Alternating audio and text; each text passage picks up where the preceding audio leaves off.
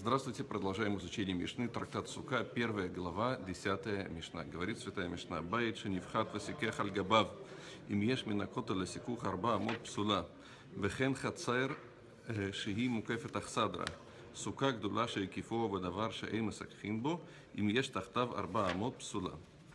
Мишна продолжает здесь разбирать тему так называемой аллахической реальности в суке. На самом деле закон касается э, тема аллахической реальности, она касается не только суки, но эти законы, эм, которые здесь разбираются, касаются конкретно суки. И Мишна приводит здесь три примера, где мы аллахически смотрим не так, как мы видим э, своим взглядом. Вообще это интересно, что обычно мы привыкли в современной науке, что сначала нам говорят общее правило, а из него уже выводят частные детали. Э, в Талмуде, как правило, это наоборот делается. Приводится пример, частный пример, из которого выводится общее правило. Есть в этом... Из частного в общее. Да, из частного в общее. Да, есть, есть в этом... На примере частного объясняется общее правило, и есть в этом своя логика, поскольку книга тоже написана тысячелетия, меняется технология и так далее, можно много что увидеть из частного примера. Больше, наверное, чем из общего правила.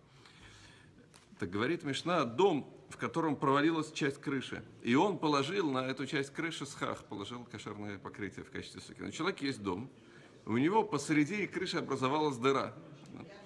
Значит, и он, он наступает праздник Суккот. Он говорит, замечательно, да, я не буду заделывать дыру пока что, до конца праздника. А положу там кошерный схах, там есть минимальная площадь 7 на 7 кулаков. Так, э, так можно сделать кошерную суку. Но проблема в чем? Потому что это посреди крыши, да, то есть этот схах не будет соединен со стенами. Так говорит Мишна, если есть расстояние от стены до схаха 4 локтя, то такая сука не кошерная. Если расстояние менее чем 4 локтя, не 4 кулака, а 4 локтя от стены до схаха, то есть Аллаха ле Муше Сина, есть закон, который, это устная традиция, которую Муше получил Сина, это не постановление мудрецов, но это не записано в письменной Торе. Это устный закон по Торе значит, э, который гласит, мы его уже с ним сталкивались, Дофа Накума, кривая стена. Мы смотрим на потолок как на продолжение стены. То есть стена как будто бы загибается и продолжается в виде потолка. Это максимальное расстояние 4 локтя, то есть где-то 2 метра с каждой стороны. И таким образом да, получается, что стены соединены со схахом посредством крыши. Да, то есть, поскольку крыша, потому что если просто посредством крыши, то это нам не помогает, да, поскольку схах должен быть сам соединен со стенами. Но здесь мы смотрим на крышу как на продолжение стены. Таким образом, если в ней меньше, чем 4 локтя хотя бы с трех сторон, то такая сука будет э, кошерная. Второй пример, который приводит Мишна, говорит, и также двор, который окружен Ахсадра. Ахсадра это, э, это типа беседки, да, что-то такое, э, когда делают крышу для тени, без стен, да, просто э, э, как есть слово на русском еще, не беседка. Дел... Как? Не знаю, нет. Э, если накрывают, значит, накрывают просто чем-то для тени, чтобы сидеть на свежем воздухе в тени. Так если... Как? Ну, как тент, да. Если есть двор, который окружен ахсадрой, значит, то же самое, если есть четыре локтя, то не кошерно, а если нет четыре локтя, то кошерно. Я объясню, что, о чем здесь идет речь. Представьте себе двор, который с трех сторон окружен домами. Подряд идут буквы «П», идут дома, и на, на четвертой стороне есть дом, нет дом, нам уже не принципиально. Значит, э, и вдоль вот этих внутренних, внутренних стен два, два, этих домов сделали крышу да, на столбах для тени, чтобы это как козырек. То есть один длинный длинный козырек, который идет по периметру навес, да, который идет по периметру всего двора.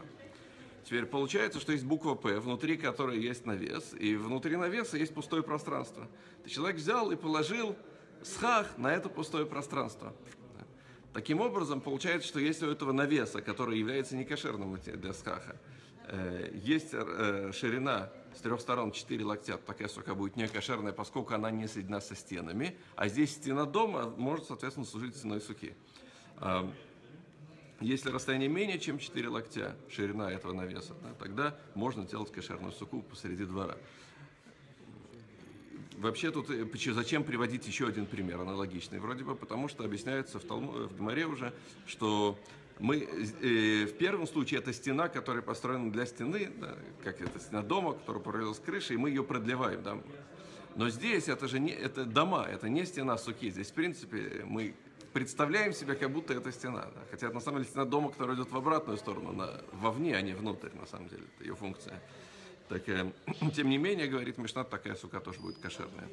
И третий пример, который приводит Мишна, сука Гдула, большая сука, которую окружили вещью, которые нельзя покрывать, да, то есть не кошерным схахом. То есть в первых двух случаях и провалившийся потолок, и вот этот навес, это могло быть деревянным, да, или растительным, чем-то, что в принципе само по себе кошерно для суки, но это не положено было для, было для сукота, и поэтому это не кошерно. Но здесь идет в третьем примере речь о ситуации, когда сука, большая сука, у него не хватает схаха, у него есть только чуть-чуть схаха, но, но вот так он посередине кладет 7 на 7 кулаков и более кошерный схах, а вокруг окружает дальше до стен, доводит чем-то не кошерным, металлом, металлическими листами кроет. Значит, так, э, если есть под ним 4 локтя, то сука не кошерная. Да? То есть то же самое. Да? Э, мы думали, что может быть это материал, который в принципе был бы кошерный для схаха, так мы его рассматриваем как продолжение стены. Ты говорит Мишна, что нет. Даже если материал ну, в принципе не кэшен для схаха, мы все равно рассматриваем то же самое, как нет критериев к стенам по материалу. Также и касательно кривой стены, то есть потолок, который является продолжением стены, тоже нет критериев. Такая сука будет кошерной, если не кошерный схах с трех сторон менее четырех локтей. Спасибо большое, хорошего всем